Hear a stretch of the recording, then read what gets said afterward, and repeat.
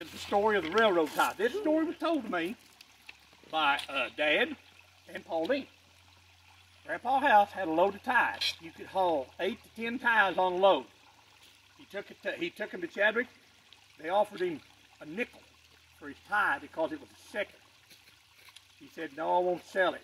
Make a long story short, they offered him a little more, and he still wouldn't sell it. He brought that tie back and put it right across there.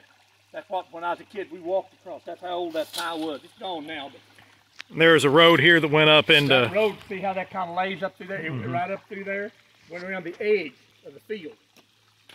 You go around the edge of the field, you can go over the field if you're perky, but I ain't. I never was.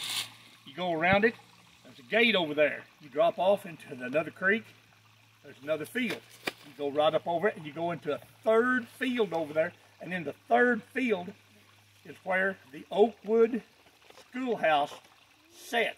They moved the Oakwood Schoolhouse, which that house is made out of, according to Paul Dean, from Barber Creek on logs. They hmm. pulled it.